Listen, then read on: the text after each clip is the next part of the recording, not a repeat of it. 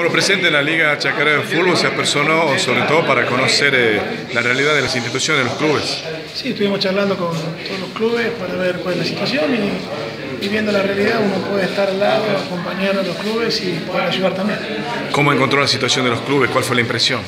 Hay que trabajar un poquito, pero en abril y mayo respecto a la institucionalidad, solamente siete clubes en regla, pero entre abril y mayo están todas las asambleas y fue uno de los pedidos grandes que hemos hecho. Uno la institucionalidad y la otra los inferiores. Sobre todo que trabajen en inferiores, que los chicos estén, pero bien, hay realidades diferentes, torneo provincial, del Federal C, del Federal B, y bueno, muy activa la liga. Hubo un pedido explícito ahí y tiene que ver con la iluminación.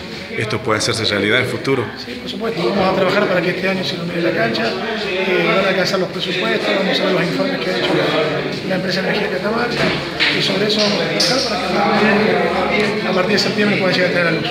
Este tipo de reunión no solamente la hace acá en el Valle Central, sino que prácticamente está recorriendo la provincia.